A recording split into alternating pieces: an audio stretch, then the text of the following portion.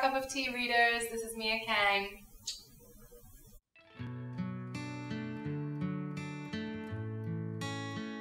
To be honest, I still don't really feel like it's real. um, it was an incredible process. It was very long. I think it started last year um, in about August, July, August. So I've had to keep it a secret for a long time, um, which was really, really difficult. That was the most difficult part, I think.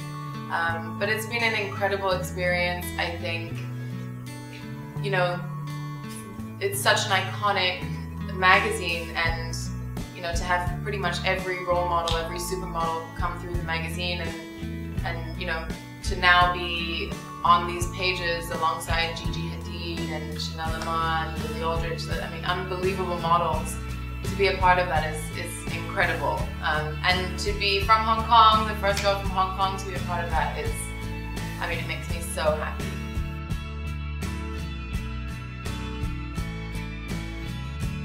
Well, my first um, thing on my to-do list is definitely to win this competition to get into Sports Illustrated 2017. Um, and then, you know, I have a couple of uh, things that I want to do within the modeling realm.